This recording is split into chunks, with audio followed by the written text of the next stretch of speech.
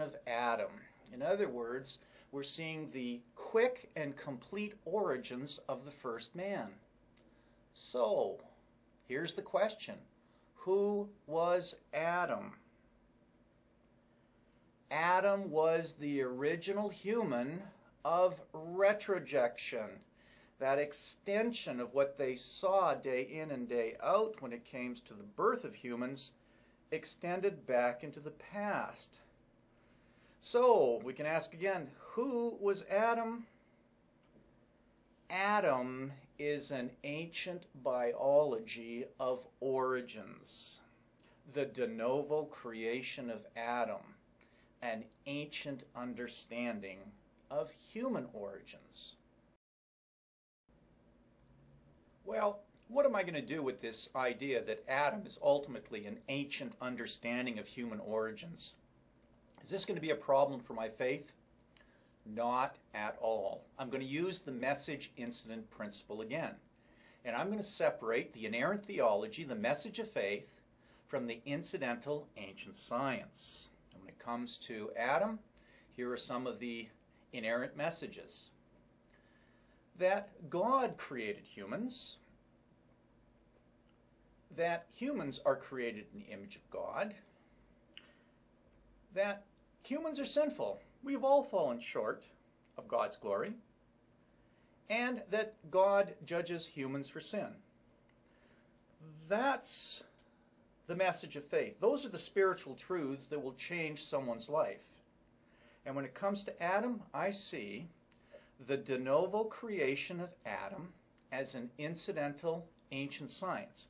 It's an important element of the account in Scripture, but it acts as a vessel to deliver these wonderful spiritual truths. Let me now come to a conclusion to this presentation that I have entitled, Was Adam a Real Person? And I'll use a simple little formula to get my point across. Adam equals three tiers. Or to put this diagrammatically, Adam is on the same level as the three-tier universe. Now, I don't think there's anyone out there who believes we live in a three-tier universe. But we saw within Genesis 1, the first chapter of the Bible, a three-tier universe being created. De novo, quickly and completely. And of course, we also recognize that this is an ancient astronomy and an ancient geology. Now, I don't for a second believe that anyone believes this is the case. So, if the astronomy's old, and if the geology's old, it only makes sense that the biology is also old.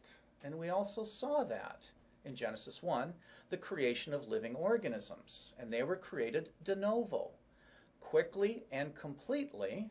And how did ancient peoples come to that notion?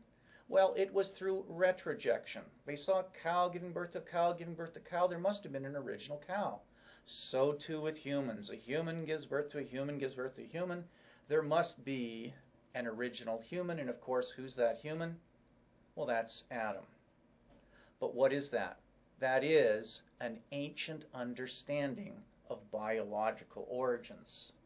So, in the same way that I don't believe there's a three tier universe and that God created one, I don't believe that Adam was ever created de novo as stated in the scriptures. Let me state my conclusion more precisely. Adam is simply a retrojective conclusion. In other words, it is the conclusion that ancient peoples came to after thinking retrojectively of their experience of humans. A human gave birth to a human, gave birth to a human, and they extend this back into the past, and they come to an original human, created de novo. So, this retrojective conclusion is the de novo creation of the humankind. So, Adam is simply a retrojective conclusion of an ancient taxonomy. And this taxonomy looked at life, and all they saw is creatures reproducing according to their kind.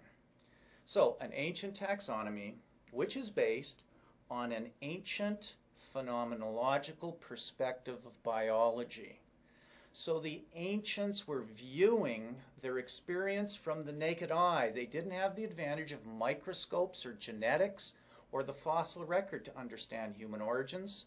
They simply understood it from their phenomenological perspective.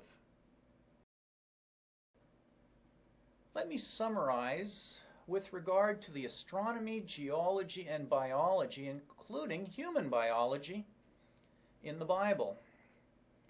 First, there is ancient science throughout the scriptures regarding the heavens, the earth, and living organisms. Second, when it comes to the creation of the heavens, the earth, and living organisms, it is creation that is de novo creation. It's creation that is quick and complete, and it is the best origin science of the day. Now, there's a significant implication with regards to this. If the science in Scripture is an ancient science, then scientific concordism fails. That is, the notion that people go to their Bible to find out scientific facts will not work. Why? Because it's an ancient science. It does not align with modern science. Now, for some that might be a problem, but it really isn't.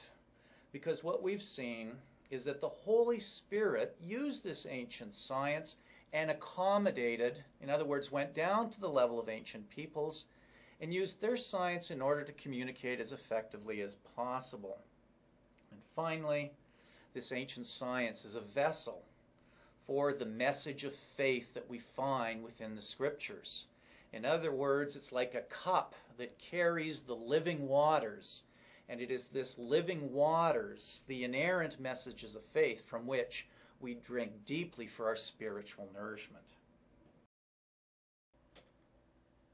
I opened this presentation with a passage from my book, Evolutionary Creation, and I'll close with one.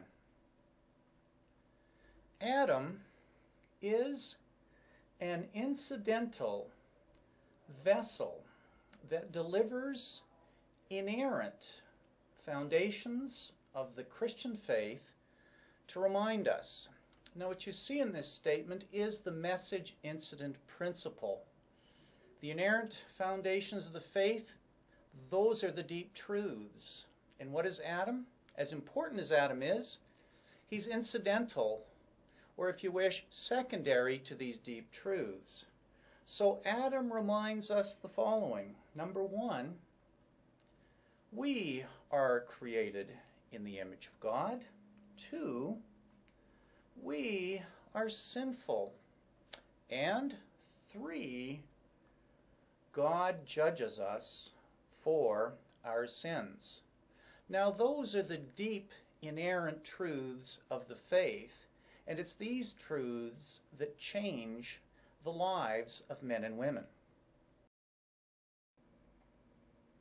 Continuing, though Adam never existed, he is the prototype. That is, he is the classic example of the human spiritual condition. In order to understand our existence today, we must see ourselves in Him. Adam is you and me. Thank you for your attention.